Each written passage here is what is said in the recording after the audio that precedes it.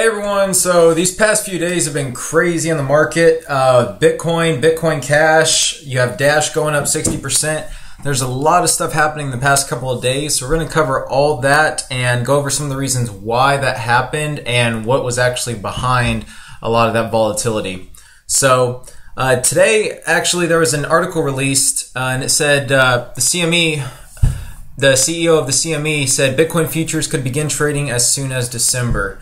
So, as some of you know, um, CME basically they have an exchange. They deal a lot with futures, and they were uh, they published an article um, I think a week or two ago, and it was announcing um, Bitcoin futures were going to be on the way for Q4 of 2017. So that was actually um, a big catalyst as to why Bitcoin is rising a lot before then. So basically, Bitcoin futures, it gives exposure to more investors and it's a more safer alternative to investors that don't want to invest directly in Bitcoin, but they want to invest in something that tracks Bitcoin. And the futures are a great uh, return, um, great thing you can do for high returns. Basically, um, it like magnifies how many returns you can get. So it's uh, it attracts a lot of people and attracts a lot of new investors. So seeing this article come out and saying um, the CEO is saying, I think sometime in the second week of December you'll see our contract out for listing. He told CNBC today, hinting that trading could begin as early as the second week of December. So that's huge. Um, basically, what that's saying is, hey, you know, everything's going well, and if everything goes according to plan, uh, we could see the futures early in December.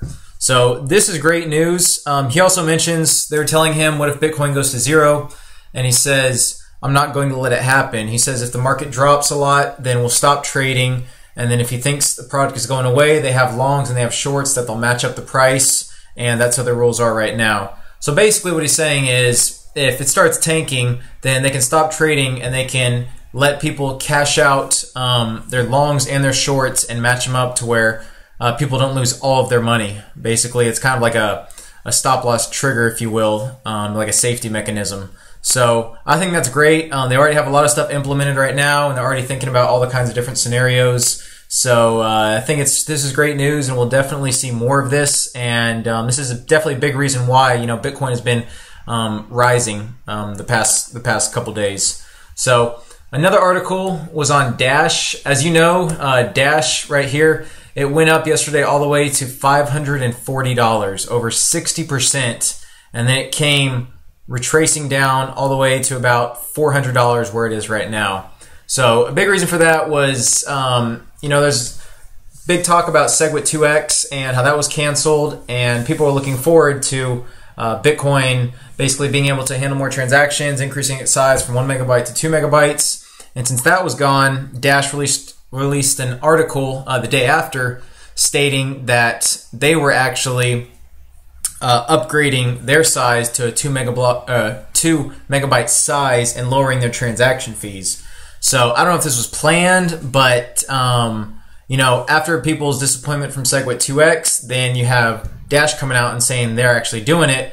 So that was a big, big catalyst for this rise right here. Um, you know, that was basically put them in the spotlight as um, you know one of the strong altcoins that are actually working on their uh, transaction sizes and how many transactions they can handle. So that was the biggest reason for this rise right here. Um, as far as support levels on here, you know, it looks like $400 seems to be the support right now. Um, it's bounced off of that a couple times, actually almost three times it's bounced off of that. So if you are going to buy Dash, you know, I recommend anywhere, you know, 380 to 400 looks like pretty strong support. Um, it's not investment advice. It's just uh, from what I see on these charts.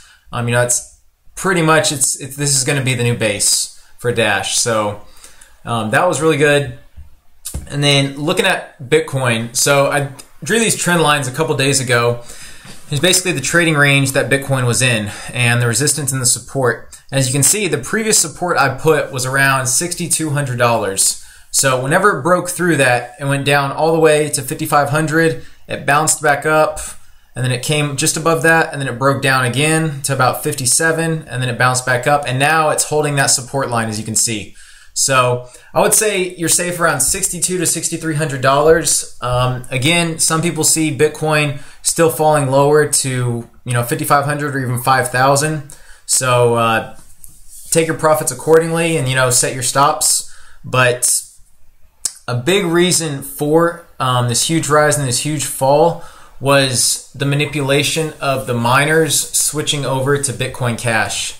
So looking at Bitcoin Cash, you can see it had that huge rise all the way up to over $2,500. And then it tanked, and now it's sitting at about $1,200. So basically, what happened is people took uh, Bitcoin Cash. They the mining difficulty was so low. You can see on this graph here, the profitability for mining Bitcoin Cash was all the way up almost 300% more profitable than Bitcoin. So this was on 1111, and you can see this profitability skyrocketed. And then, so people were taking advantage of that, switching all their mining over to Bitcoin Cash, um, manipulating markets, and they were taking advantage of the cancellation of SegWit 2x, basically creating FUD in the market and telling everyone, hey, Bitcoin Cash is going to be the new Bitcoin. So taking advantage of you know everyone's emotions, people sold Bitcoin, and then they bought Bitcoin Cash, and that's what saw this huge volatility. Uh, at one time, you know, it uh, dropped a thousand dollars in literally 10 minutes.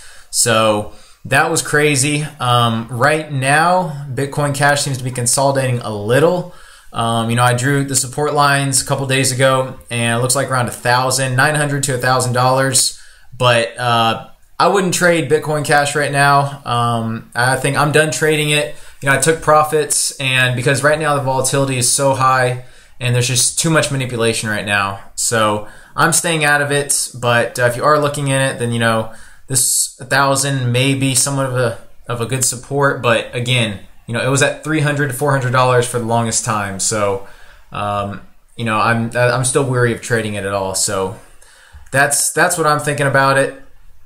And um, another thing is Bitcoin Gold actually um, released and you can see it dropped over 15%, which is no surprise. Um, you know, Bitcoin Gold, even though it has Bitcoin in the name, there's really no, I would say, pull towards it like there is for Bitcoin Cash or Bitcoin. So, um, you know, it, this didn't make a lot of noise in the market. Um, basically, people sold what they had, the free Bitcoin Gold that they got, and you aren't hearing much about it. So, this may see another rise like Bitcoin Cash did in the future because it has Bitcoin in the name, but again, it's just another altcoin, and I don't think we'll see much out of it in the future. So, um, and one last thing I want to talk about. Uh, whenever Bitcoin Cash rose, I actually noticed that Bitmain um, they produce you know some of the ASICs miners, and they're basically the main company uh, in China that produces all the miners. So I noticed a couple weeks ago they started taking only Bitcoin Cash as a payment method. So that's another thing you have to look for. Sometimes companies will change what payment methods they accept in anticipation of a coin's rise. So I noticed this and I didn't act on it right away, but at this time, I believe Bitcoin Cash was trading around $600, five to 600. So just keep in mind, you know, what companies are taking as a payment method. If they change from Bitcoin to Bitcoin Cash or, you know, different altcoins. Um, again, just pay attention to that because I think that has some uh, foreshadowing in it. So just another side note. Um, you know, I thought I'd let y'all know. But basically, that's it. Um, a lot of volatility the past couple days, and it's um, you know, I mean, it's crazy. Hopefully, y'all were able to get some of that profit on Bitcoin Cash. Um, again, there's still some volatility right now. There's maybe some opportunity, but I think people have caught on to the manipulation. Um, there may be a second rise, but I'm not going to mess with it right now. And I'd recommend, you know, being careful of trading this at all. So it looks like uh, people caught on, and you know now all the big the big investment bankers have you know got their cheap share of Bitcoin, and uh, because they know long term Bitcoin is going to be the king, so they know futures are releasing soon, and they know you know there's a lot of opportunity for Bitcoin. So I believe this is just a shakeout for weak hands and to get you know as much cheap Bitcoin as they could. So with that, um, thanks for watching. I hope uh, I helped some of y'all out. And uh, if you have any questions, leave them in the comments below. If you enjoyed the video, please like and subscribe. And until next time, see ya.